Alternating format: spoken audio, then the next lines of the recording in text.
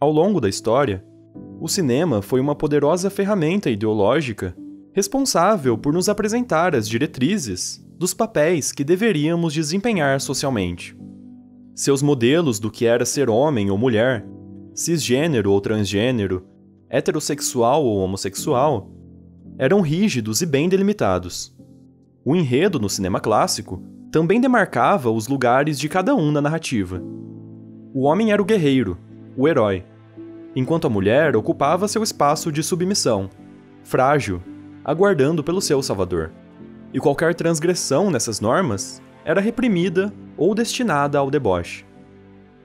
A primeira representação de afeto entre dois homens em um filme aconteceu ainda no primeiro cinema, quando a linguagem cinematográfica sequer estava desenvolvida e estabelecida. No filme, de 1895, enquanto William Dixon toca um violino em frente a um gravador, dois rapazes dançam uma valsa. E esse experimento ficou conhecido como o primeiro filme com som gravado ao vivo. Mas se nesse primeiro momento a cena foi retratada com uma certa naturalidade, nos anos seguintes, quando os homossexuais passaram a ser representados de forma declarada no cinema, os personagens eram colocados em posições inferiores no enredo. O arquétipo do marica, ou sissy em inglês, era de um gay afeminado que despertava o riso do público. Sem vida amorosa ou sexual, esses personagens tinham como única função narrativa a comicidade. As lésbicas, por outro lado, quando masculinizadas, entravam em um espaço de mistério, de obscuridade. Na década de 30, o Código Reis é instituído nos Estados Unidos e passa a censurar filmes defendendo a moral e os bons costumes. The code sets up high standards of performance for motion picture producers. It states the considerations which good taste and community value make necessary in this universal form of entertainment. As restrições passavam pela nudez, pelo sexo, prostituição, aborto, divórcio, perversão sexual e até mesmo beijos de boca aberta. O código tinha um papel claro de controlar os discursos sobre os corpos e sobre a sexualidade, declarando quais seriam as sexualidades e corpos possíveis de serem representados e dignos de existirem. Our American people are a pretty homely and wholesome crowd. Cockeyed philosophies of life, ugly sex situations, cheap jokes, and dirty dialogue are not wanted. Decent people don't like this sort of stuff, and it is our job to see to it that they get none of it. Alguns diretores conseguiam driblar a censura e colocavam personagens homossexuais em suas narrativas, mesmo que de forma discreta e não declarada.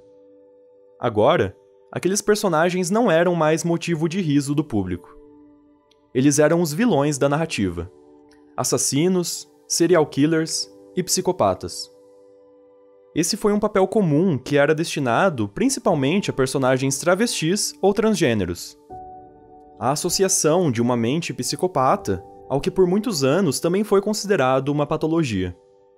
Um dos primeiros casos mais emblemáticos talvez seja de psicose. Mas Hitchcock parecia ter uma certa obsessão por esses personagens que transgrediam as normas de gênero e transformá-los em assassinos. Outro caso marcante foi Buffalo Bill, de O Silêncio dos Inocentes. Aqui, a relação estabelecida entre um serial killer e o seu travestismo é ainda mais problemática, já que o personagem buscava, com os assassinatos e a extração da pele de suas vítimas, uma apropriação da forma feminina, do lugar de uma mulher, o que se tornou um argumento distorcido sobre as reivindicações do movimento trans. O cinema também recorria a certas convenções na interação de personagens trans com personagens cisgêneros, como a repulsa que a revelação do corpo feminino trans causava nos homens. Cena que está presente em Traídos pelo Desejo e que se repetiu exaustivamente.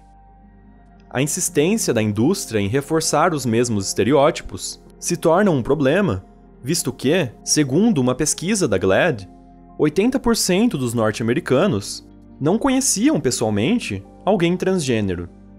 Então, não é exagero afirmar que as únicas referências dessas pessoas sobre vivências trans viriam apenas da mídia.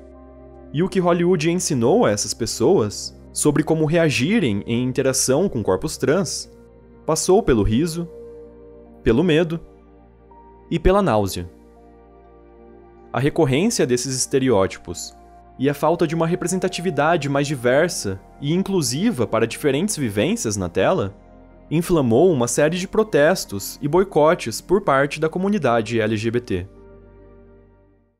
Semelhante ao Código Reis, mas com um alcance ainda maior do que o do cinema, a televisão também seguia um código de práticas das emissoras que proibia qualquer representação positiva da homossexualidade. E algumas narrativas recaíam sempre nos mesmos personagens, como a lésbica homicida e o gay suicida. No Brasil, a TV Globo só colocou um personagem gay em suas novelas em 1970, sob a vigilância da censura da ditadura militar. Senhores pais, atenção! Terminou o horário livre. ZYB 511 TV Globo, Rio de Janeiro. Dessa forma, os autores precisavam ainda recorrer a uma abordagem sutil.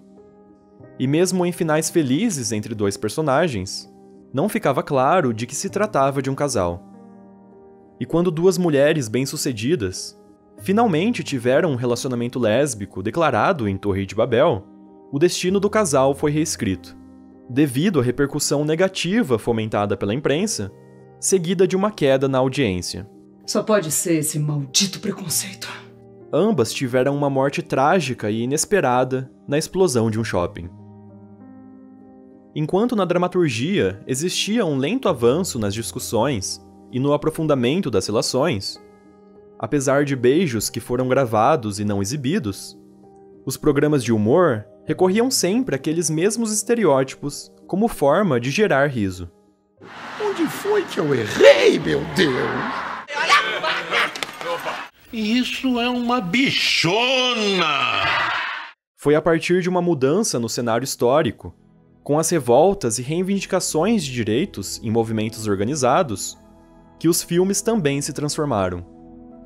Nos anos 90, o novo cinema queer ganha força, apresentando um discurso de transformação social, questionando a heteronormatividade, mas também a homonormatividade. O próprio termo queer vem desse espaço de ressignificação. O que antes era utilizado para designar pejorativamente pessoas estranhas, que fugiam do padrão heteronormativo cisgênero, agora é reapropriado pelo movimento, abraçando essa fuga à norma. No Brasil, Madame Satã, de Karim Ainus, foi um grande representante desse novo cinema. Além de uma unidade temática, o novo cinema queer também se reinventou pela estética.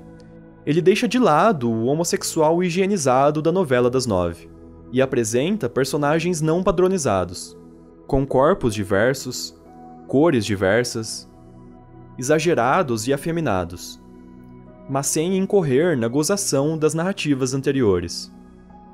Dando espaço também para outras letras da sigla, até então invisibilizadas.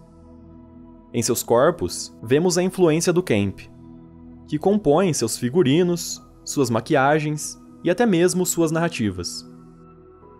E é essa multiplicidade de narrativas que foi a principal reivindicação do movimento, que não queria ser visto apenas de uma forma. Até porque o arco-íris não é composto por uma única cor.